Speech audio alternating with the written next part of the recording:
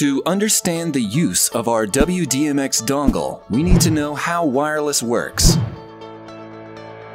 Wireless transmission is like a highway with 13 lanes, where most traffic happens on channels 1, 6, and 11, leaving plenty of room for operating a wireless DMX system.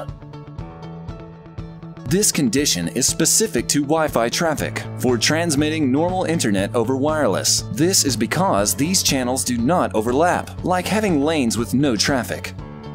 WDMX uses a patented feature called adaptive frequency hopping. This technology is similar to trying to overtake in traffic. We analyze all possible congestion, avoid getting interfered by other wireless devices, or stuck in traffic, our coexistence dongle is the perfect device to when we need to route our traffic to a specific channel in the spectrum. By default, our transmitters send data on all 13 channels in the spectrum.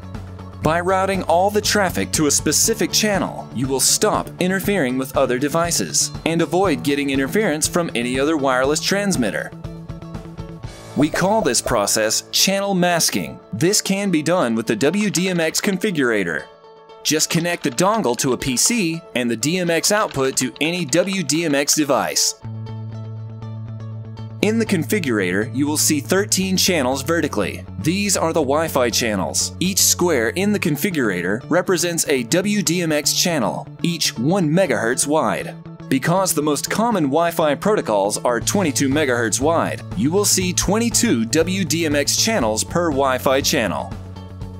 Because Wi-Fi channels overlap, if for example you block out Wi-Fi channel number 1, you will take out a lump of WDMX channels up to a portion of channel 5. It's always advisable to find out what are the channels used by the local Wi-Fi devices. If you can't get to this information, you should use an RF spectrum analyzer so you can accurately read the frequency usage in your venue.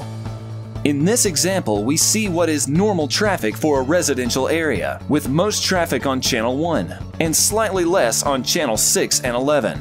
When we introduce a WDMX transmitter, the traffic increases significantly due to the adaptive frequency hopping technology.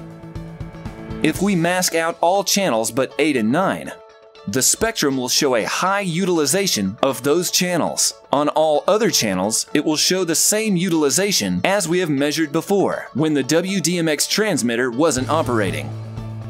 You can get the configurator software from the download section of our website.